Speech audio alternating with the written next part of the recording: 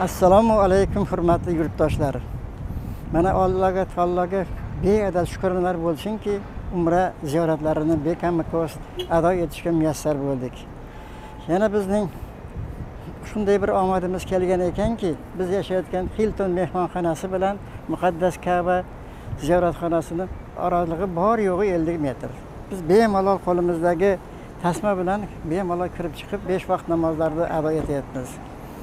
Bunday sharoitlarni yaratib bergan o'zbekiston respublikasi hukumatiga hurmatli prezidentimizga o'zbekiston musulmonlar idorasini mutasaddilariga o'zimizning cheksiz minnatdorchiligimizni bildirib qolamiz.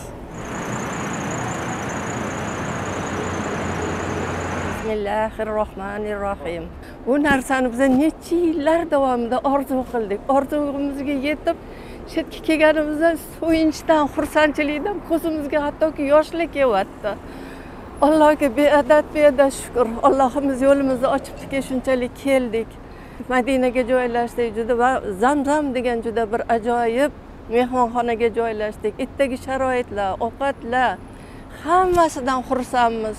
Allohim mana hozir bu yerga kirsak makkani yonida bir ellik qadam yursak kabaga kirib boradigan sharoit.